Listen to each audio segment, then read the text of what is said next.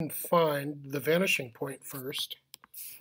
And I'm in Photoshop. You can do this in Jamboard, or if you have a tool that allows you to free draw on a photo in your notes on your computer screen, um, whatever works for you is fine.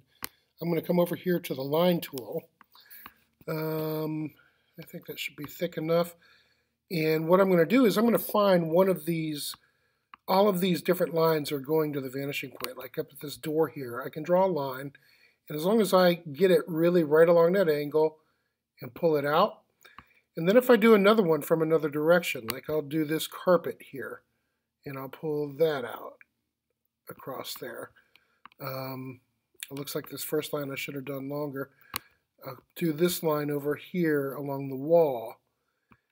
And you, you, you can do this as much as you need to, but you should discover, I'll come back and do this one at the door again, that as long as you, uh, that they're all kind of going to the same place. And where all these different lines converge, where things come together means to converge, there's one up here. So you notice that every single major line in this picture for one point perspective is all coming to the same spot. And that spot is called the vanishing point. And I can just keep doing this all day long. If this was drawn correctly, every converging line is converging to that spot. And that is the vanishing point. So this spot here is the vanishing point.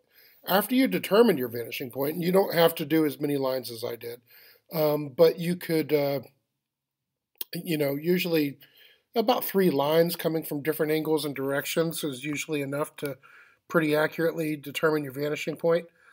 Um, but after you know your vanishing point, you just draw a horizontal line through that, and that's your eye level line. And notice that that eye level line just intersected where would this guy is standing. That's his eye level. So the eye level line corresponds with the natural point of view that you have as you're looking at the scene um, and you're designing this as the artist.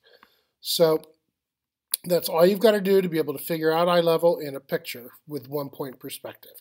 Use different lines that are already in the image and extrapolate them out and do, you know, at least about three of them coming from different angles and where they converge is your vanishing point. And then if you draw a horizontal line through your vanishing point, that determines your eye level slash horizon line.